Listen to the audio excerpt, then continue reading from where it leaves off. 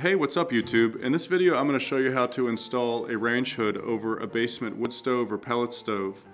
And that's going to allow you to capture that warm air and send it up to the first floor living space. Unfortunately I can't claim credit for this idea. I was over at a friend's house last winter and he had this set up and I liked it so much I asked my parents if they'd be interested in me putting a range hood above their wood stove in their basement. So as you can see here, you can spend quite a bit of money on a new range hood uh, we were able to get this one on Marketplace for 100 bucks. It just had a little bit of a ding on the underside. Uh, it was still new in the box, it just must have gotten damaged during shipping or something.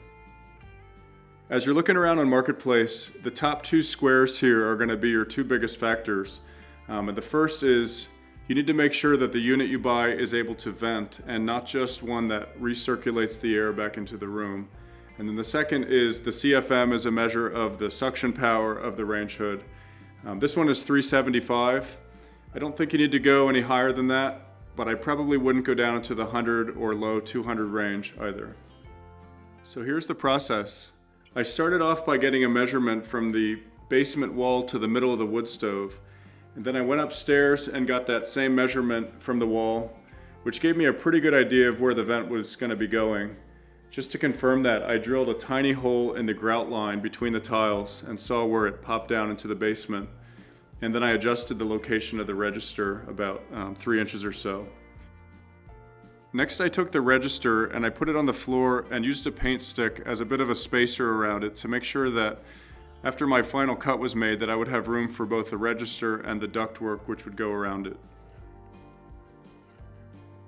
And as you can see here, this was a pretty beastly cut. I had to get down through a layer of tile, backer board, a layer of plywood, and then the actual tongue and groove subfloor there.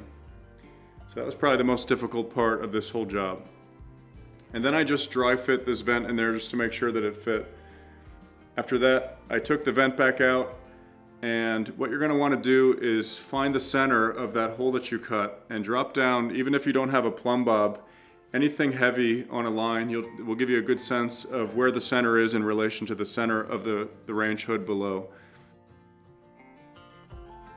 In this shot you can see two lighter pieces of wood which run perpendicular to the joists and that gave me a little bit of wiggle room um, front to back and also side to side as I was trying to line up this range hood with the vent hole above.